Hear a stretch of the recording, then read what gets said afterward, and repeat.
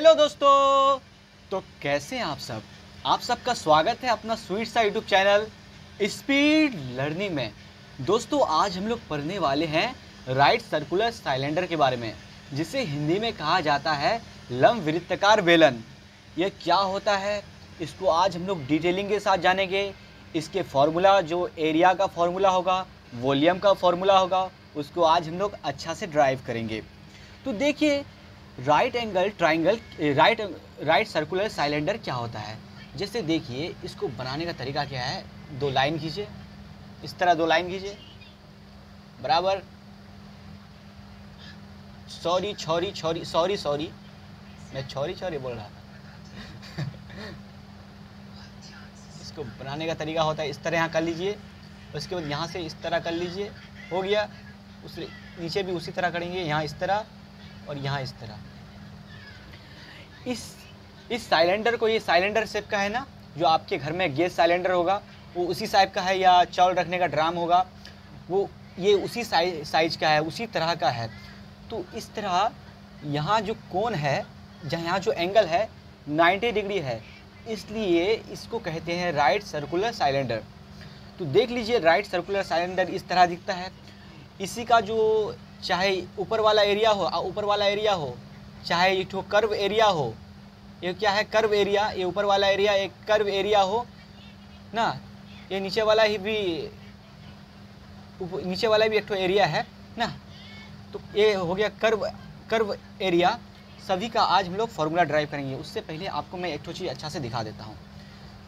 देखना क्या है हम लोग को? जैसे मान लीजिए ये मेरे पास पे, पेपर है। इसको फिगर को थोड़ा और बड़ा करके मैं बनाता हूँ। फिगर को थोड़ा बड़ा करके बनाना होगा।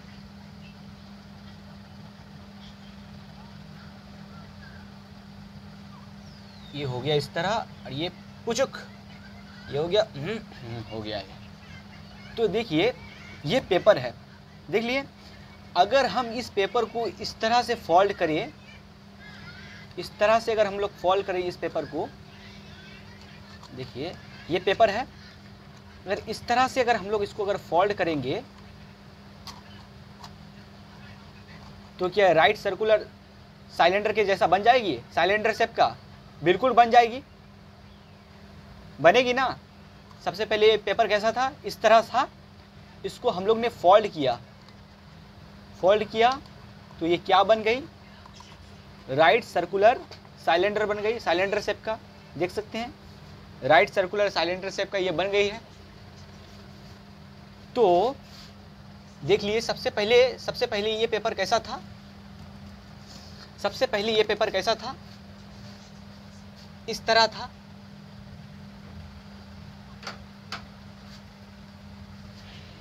बराबर? सबसे पहले पेपर इस तरह था। जिस, जब हम लोग इस पेपर को फोल्ड किए तो ये क्या बन गई? राइट सर्कुलर साइलेंडर बन गई। बराबर? तो ये जो है, ये क्या है? रेक्टेंगल ये क्या है? ये रेक्ट रेक्टेंगल है। आप जानते हैं रेक्टेंगल ये ये वाला जो साइड है, यहाँ से यहाँ तक की लंबाई, मान लीजिए एल है। और यहाँ से यहाँ तक की लंबाई, मान लीजिए बी है। तो राइट एंगल ट्राइंगल का एरिया हम राइट एंगल का हम लोग एरिया सॉरी राइट एंगल का एरिया हम लोग निकालना जानते हैं। अगर राइट एंगल का एरिया निकाले तो क्या होगा? राइट एंगल का अगर एरिया निकाले तो क्या होगा? एल इंटू बी हो जाता है। ये तो हम लोग पहले से जानते हैं कि कोई अगर राइट एंगल हो, उसका एरिया लंबाई गुना चौड़ाई होता है। ये हो गया लंबाई गुना चौड़ाई होता है। एल इंटू बी हो जाएगा। बराबर। उसी तरह ये इस रूप का है। लंबाई कितना है? ये इस रूप का है। इसको हम लोग ने ऐसे करके फोल्ड किया। इसको हम लोग ने इस तरह से फोल्ड किया। इसको हम लोग ने इस तरह से फोल्ड किया। जब हम लोग ने इसको इस तरह से फोल्ड किया, जो ये लंबाई है ना, यहाँ से यहाँ तक की लंबाई, ध्यान से देखिए। इसको एठो लंबाई को हम लोग ने इस तरह से फोल्ड किया, देखिए। एठो लंबाई को एठो लंब एठो लंबाई को, मान लीजिए एठो लंबाई को हम लोग ने इस तरह से फोल्ड किया। एठो लंबाई देखिए, उधर वाली लंबाई क्या बन गई? एक सर्कल टाइप का बन गई।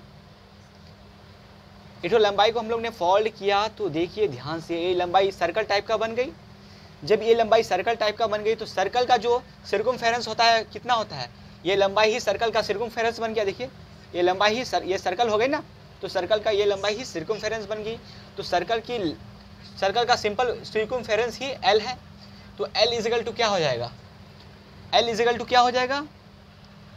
टू पाई आर होती है सर्कल का सिरकुम आर यहाँ से यहाँ तक की आर को होते बोलते हैं रेडियस समझ में आ गया? तो अब देखिए, यहाँ बी क्या है? हम लोग ने इसको पकड़ा, ऐसे करके फोल्ड किया तो ये गोला वाला भाग क्या बन गई? सर्कल का फेरेंस और यहाँ देखिए, यहाँ से यहाँ तक की हाइट अब जो साइलेंडर का जो हाइट है, वही तो बी है ना, देखिए। साइलेंडर का जो हाइट है वही बी है ना, इसको ऐसे करके मैंने फोल्ड किया है। तो बी क्या है? सर बी क्या है? जो साइलेंडर का हाइट है, वही बी है। तो इसलिए हम लोग लिख सकते हैं कि यहाँ बी क्या है? सिलेंडर का हाइट है एच है। समझ गए तो हम लोग सिंपली यहाँ पुट कर सकते हैं। Two pi R into H. Two pi R into H. अच्छा हम लोग ने यहाँ का किसका एरिया निकाला था? एटो पार्ट का एरिया निकाला था ना? एल इंटू ए किसका एरिया है? एटो पार्ट का ना? इसको हम लोग ने फोल्ड किया। तो देखिए, ये समझ लीजिए कि एठो एरिया ये एठो एठो एरिया है। यहाँ जो एरिया है एठो एरिया है। जब हम लोग इसको फोल्ड कर रहे हैं, देखिए ध्यान से तो एठो एरिया क्या बन जाती है? एक कर्व बन जाती है, देख सकते हैं। एठो एरिया एक कर्व बन जाती है। अभी हम लोग ने जो टू पाई आर एच जो निकाला, वो कहाँ का एरिया होना चाहिए? ये सिर्फ़ कर्व का एरिया होना चाहिए। तो हम लोग ने यहाँ लिखेंगे, हम लोग क्या लिखेंगे कि साइलेंडर का जो कर्व का एरिया है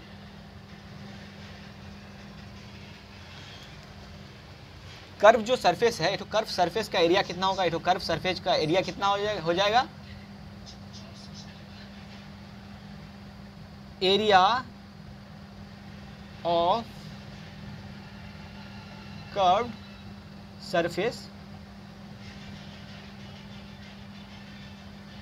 two pi R H आपको बिल्कुल ही क्लियर समझ में आ, आ, आ गया होगा।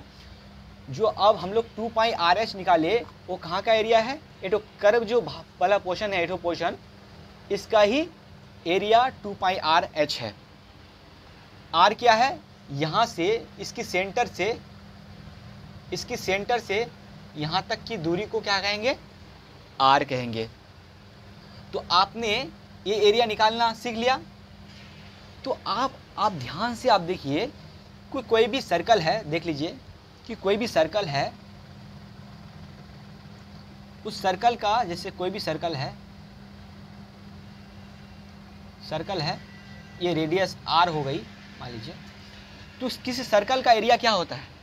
किसी भी सर्कल का एरिया पाई आर स्क्वायर होता है। होता है कि नहीं? कोई भी सर्कल हो, उसका एरिया कितना होगी? पाई आर स्क्वायर होगी। यहाँ कितना सर्कल है? अगर मान लीजिए आपके पास कोई ऐसा ड्रम है, जो चावल चावल रखने वाला ड्रम, जो ऊपर से भी बंद हो और नीचे से भी बंद हो। ऊपर से भी बंद हो और नीचे से भी बंद हो। तो उसका जो एरिया क्या हो जाएगी? क्योंकि नीचे का भी सर्कल का एरिया लेना होगा, ऊपर का भी सर्कल का एरिया लेना होगा। तो एक एक बार नीचे के लिए, एक बार ऊपर के लिए कितना हो जाएगी?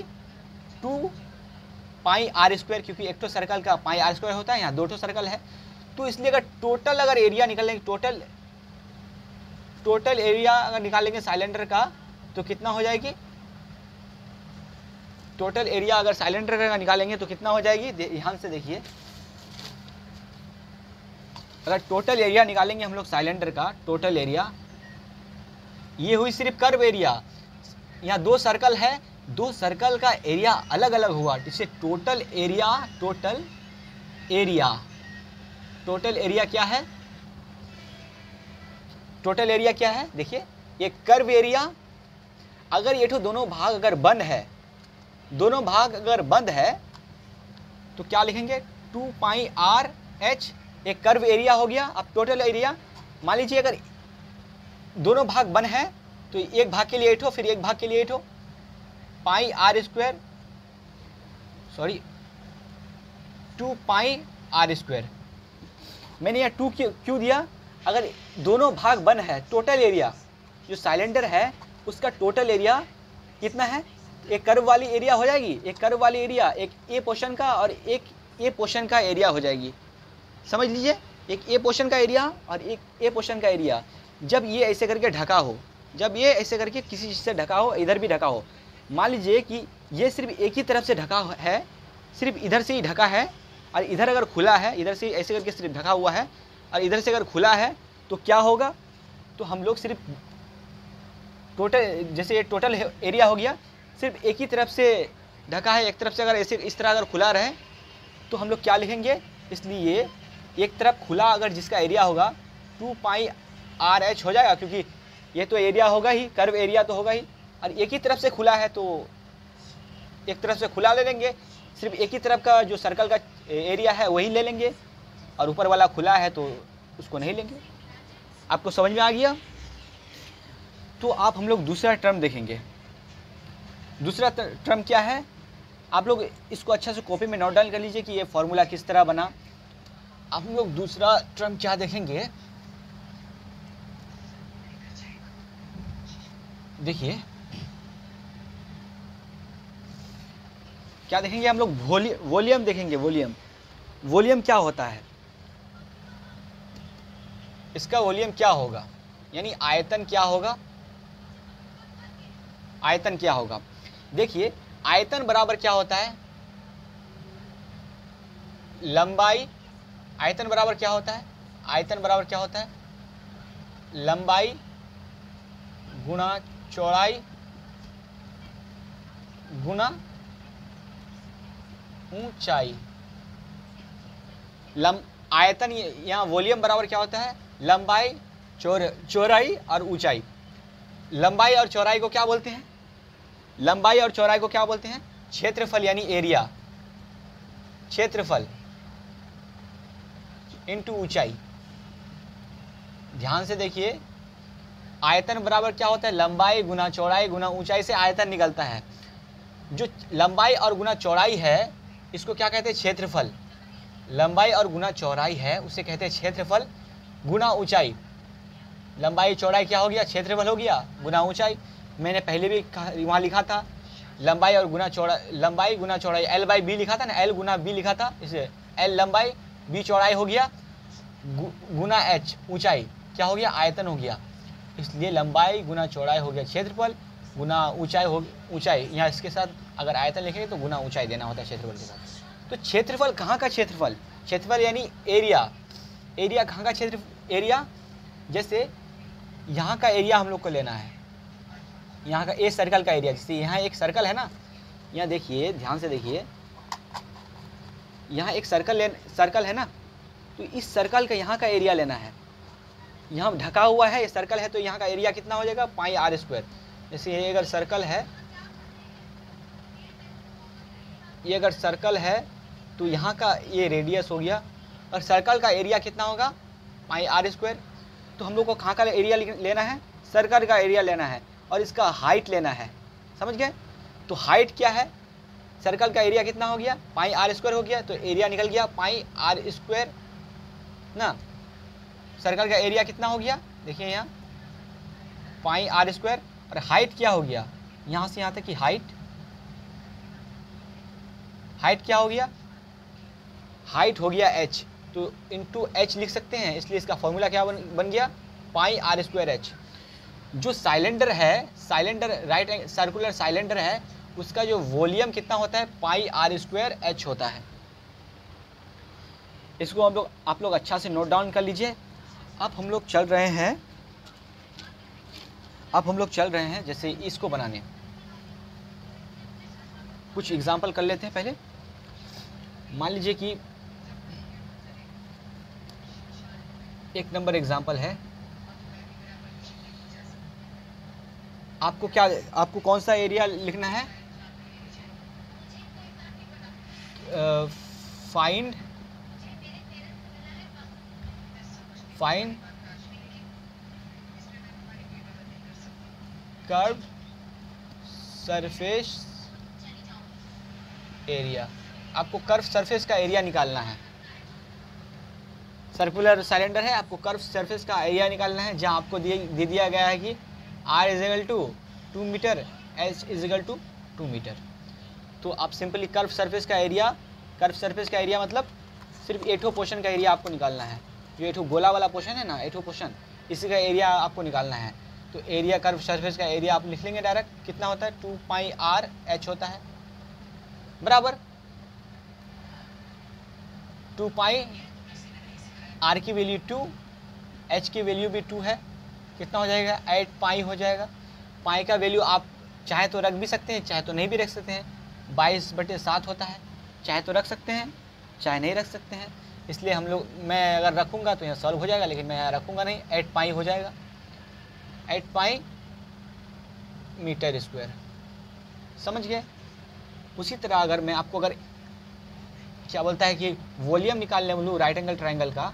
Right angle sir, right circular cylinder का सॉरी राइट सर्कुलर सिलेंडर का अगर मैं अगर आपको वॉल्यूम यानी आयतन निकालने बोलूँ अगर मैं आपको अगर दे दूँ आर इजिकल टू ये सेम वैल्यू लीजिए एस इकल टू टू अगर आयतन निकालने बोलूँ तो आप लिख लीजिए पाए आर स्क्वायर एच, मैंने आपको एक बार अभी पढ़ाया है।